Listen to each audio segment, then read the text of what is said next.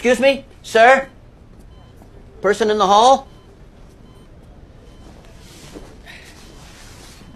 Oh, sorry. Hello, I am Dr. Shaun Murphy. I am a surgeon. Uh, uh, I can't find my socks, and I can't find the button to call someone. Oh, why would they put it there? You can't even see it.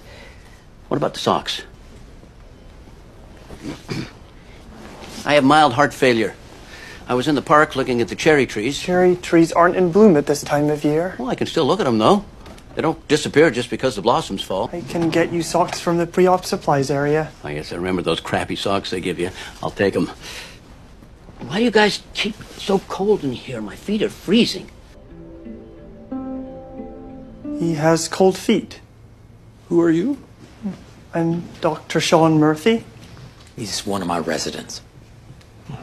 Hardy has cold feet. He's afraid of the procedure? No, I think Dr. Murphy means it literally. The patient has cold feet. Is his body temperature dropping? No, his core body temperature is stable at 98.5. He rarely has cold feet. I got him socks. You're going to need to draw some dotted lines here for me. Okay.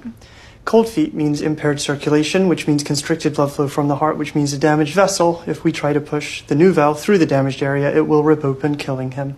Damaged vessel? Yes, you made a mistake during the bypass, most likely a tear in the aorta.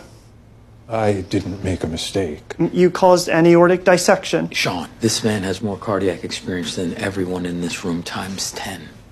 A lot of people have cold feet. My wife has cold feet. Everyone has cold feet in a hospital. Yes. We should perform an angio on Mr. Hill that will show the aortic dissection. This man recently underwent an open heart surgery. He's going to have valve replacement.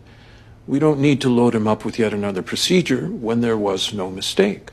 Studies show that old people are less likely to admit mistakes because they are less aware when they've made one. Okay, Dr. Murphy, you've told us your thoughts on this case.